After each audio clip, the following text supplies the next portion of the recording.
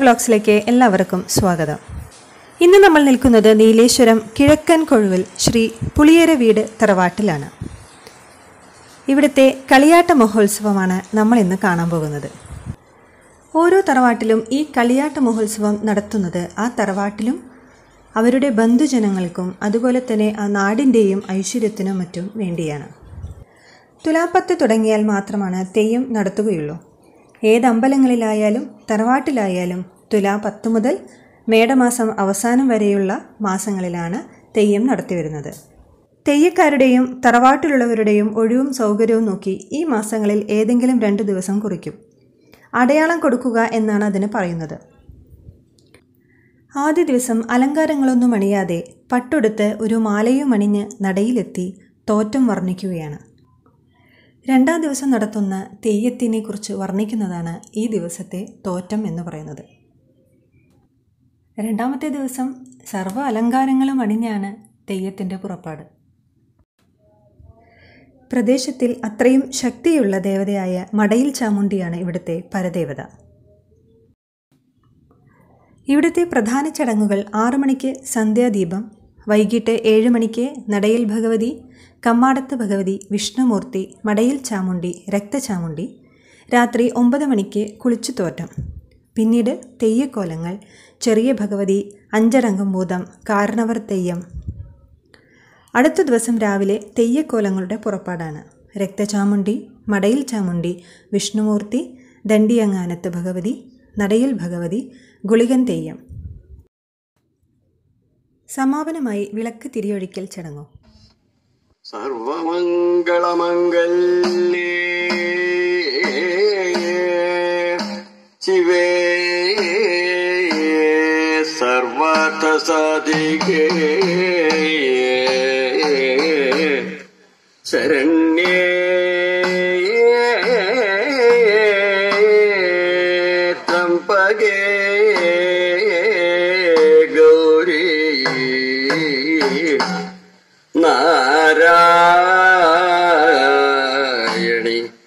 നമോസ്തു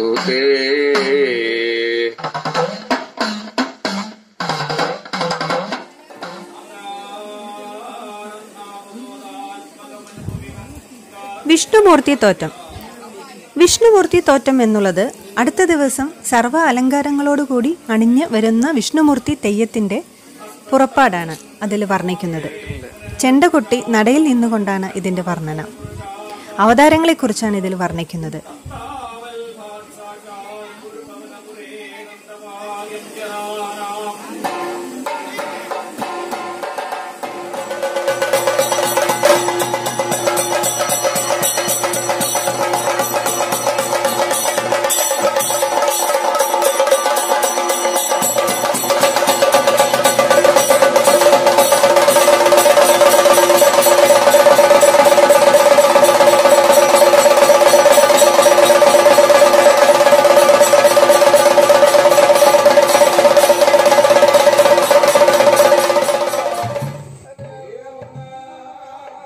മടയിൽ ചാമുണ്ടി.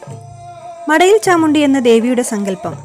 അസുരനെ വധിക്കുവാൻ വേണ്ടി ദേവി പുറപ്പെടുകയും ഈ അസുരന്മാർ അവരുടെ രക്ഷയ്ക്കായി ഒരു മടയിൽ അതായത് ഒരു ഗുഹയിൽ ഒളിച്ചെന്നും ഈ മടയിൽ വെച്ച് അവരെ വധിച്ചെന്നുമാണ് സങ്കല്പം. അതിനുവേണ്ടി എടുത്ത അവതാരമാണ് മടയിൽ ചാമുണ്ടി. ഈ മടയിൽ ചാമുണ്ടി തെയ്യത്തിനെ കുറിച്ചുള്ള വർണനയാണ് അതിന്റെ പുറപ്പാടാണ് തലേ ദിവസം മടയിൽ ചാമുണ്ടി തോറ്റം എന്നതിലൂടെ അവർ വർണിക്കുന്നത്.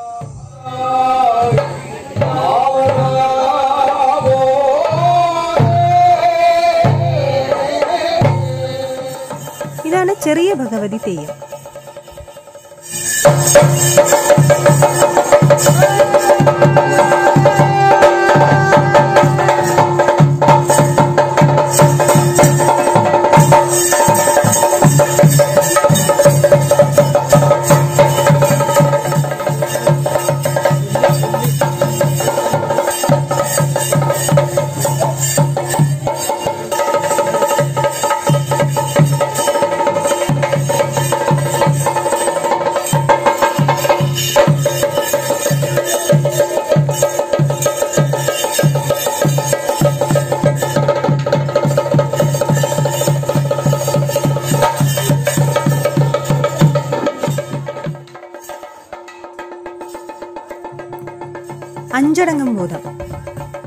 അഞ്ച് ഭൂതങ്ങളെ കാക്കുന്നവൻ അല്ലെങ്കിൽ അഞ്ച് ഭൂതങ്ങളടങ്ങിയത് എന്നാണ് ഇതിന്റെ സങ്കല്പം. പൊട്ടൻ തെയ്യത്തിന്റെ വേറൊരു ഭാവം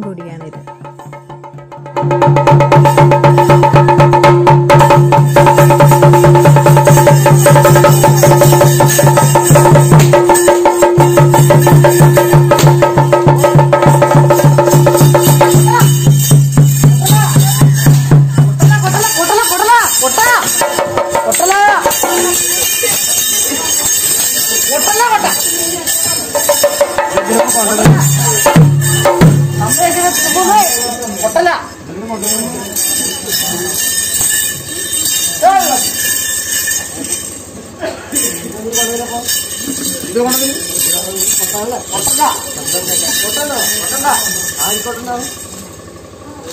അത് കൊട്ടണ്ട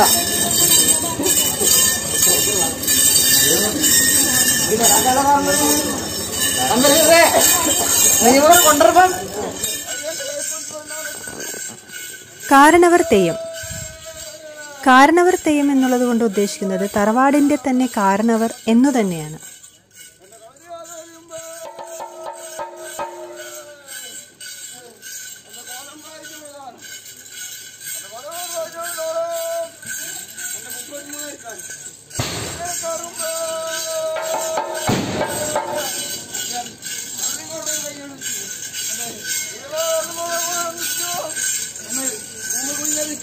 നമ്മുടെ പുരോഗമനം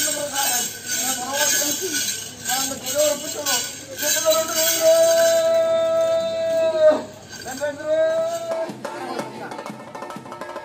ഇതാണ് രക്തചാമുണ്ടി രക്തബീജൻ എന്ന അസുരനെ വധിക്കുവാൻ വേണ്ടിയെടുത്ത അവതാരമാണ് രക്തചാമുണ്ടി ഈ രക്തബീജന്റെ രക്തം ഭൂമിയിൽ പതിച്ചാൽ അതിൽ നിന്നും വീണ്ടും അസുരന്മാർ ജനിക്കും എന്നുള്ളത് കൊണ്ട് തന്നെ ഈ അസുരനെ രക്തം പൊരിയാതെ വേണം വധിക്കുവാൻ വേണ്ടിയിട്ട്.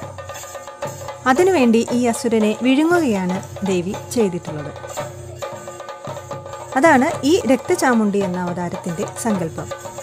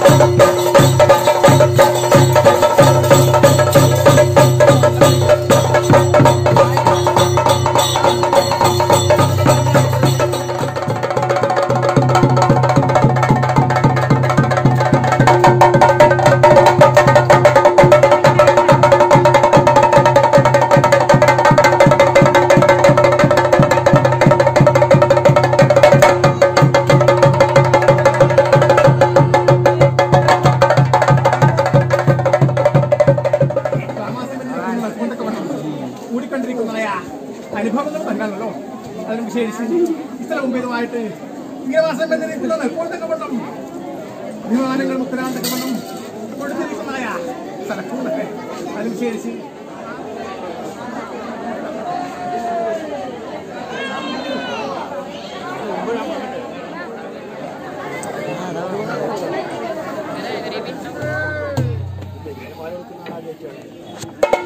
ഇതാണ് ഗുളികൻ തെയ്യം.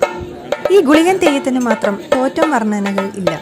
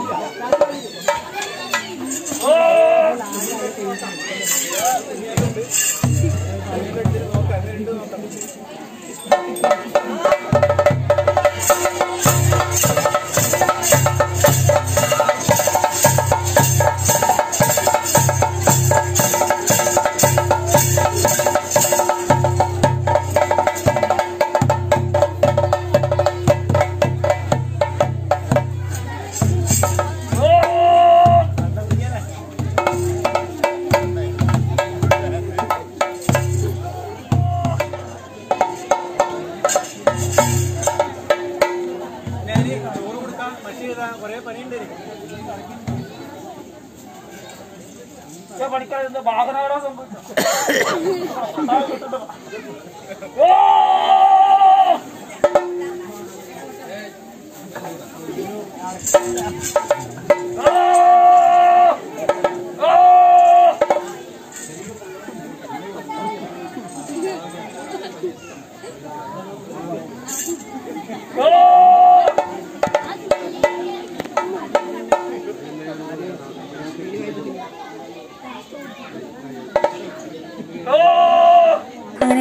വിശേഷങ്ങൾ ഇവിടെ അവസാനിക്കുകയാണ്. അടുത്ത വീഡിയോയുമായി നമുക്ക് വീണ്ടും കാണാം. മായേ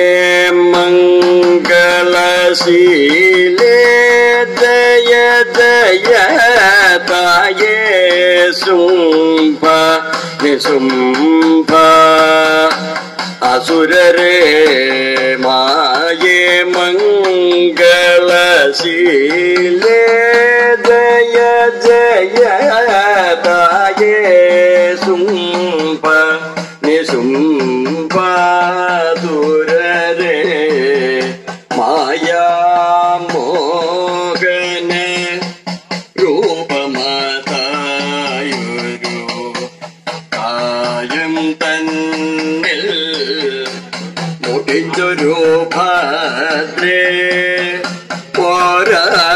പോരാടിയിടിന മഹിഷ അസുരരെ വേരറവെന്നരുളിടിന ദേവി